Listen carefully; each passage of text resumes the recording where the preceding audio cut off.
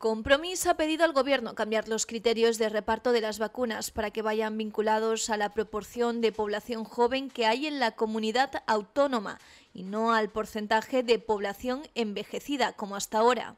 Eh, ahora mismo en la comunidad autónoma valenciana tenemos más población joven que otras comunidades autónomas, que es justamente la población que está teniendo una mayor incidencia de coronavirus y, por tanto, necesitamos tener ya más vacunas para empezar a vacunar a eh, esta gente joven. Valdoví ha criticado que Madrid acumule hasta un millón de vacunas en la nevera y ha urgido en que el criterio de reparto de las dosis vaya ahora vinculado a la proporción de población joven de cada comunidad. Entonces creo que, que deberían hacerlo pero ya. Que la solución es que nos vacunemos todos, si es que no es que se vacunen antes, si es que la solución está ahí. Cuanto más, cuanto antes se corte esto, antes estaremos mejor. Que a día de hoy nos juntamos en gran cantidad y es mejor.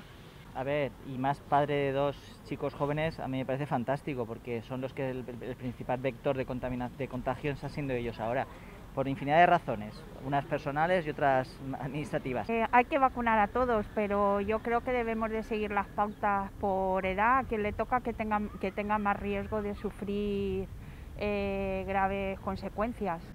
Pero no solo Compromís lamenta esta falta de dosis en la comunidad valenciana, también lo hace Ciudadanos y el Partido Popular, ya que consideran que en la región hay una población elevada de gente joven y de gran movilidad debida al turismo y por tanto se debería de vacunar con más celeridad.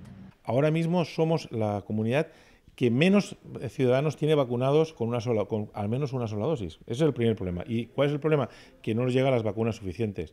Primero tenemos que exigir que nos lleguen las vacunas suficientes y, por supuesto, después habría que replantearse los protocolos de vacunación, ¿no? decir, y, obviamente plantear que a lo mejor es razonable que los jóvenes se vacunen antes y, por supuesto, también hacer los mecanismos informáticos para que la gente pudiera elegir esos momentos de la vacunación.